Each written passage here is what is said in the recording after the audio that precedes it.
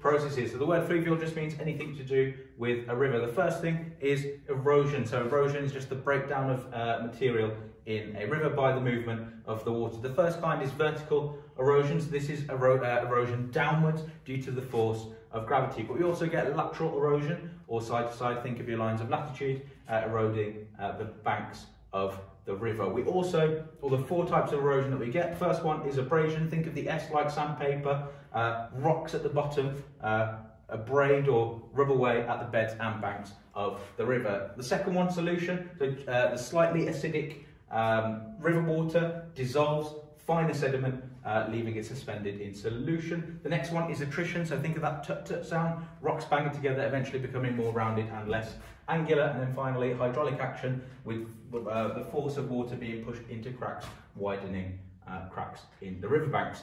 This is an example of an upper course landform. This is the Falls Clyde formed by vertical erosion. But we've also got meanders on the River Clyde that have created a river cliff where the velocity of the river is faster on the outside of the meander bend. Transportation is another thing that rivers do, another fluvial process. The first one is traction. This is where large boulders roll along uh, the bed of the river like a tractor. We also get saltation where slightly smaller sediment bounces along the river bed. We also get suspension where finer sand and silt is suspended and carried, transported by the river, uh, not touching the bed or banks of the river. And finally, solution. This is where minerals, again, are dissolved by the slightly acidic river water.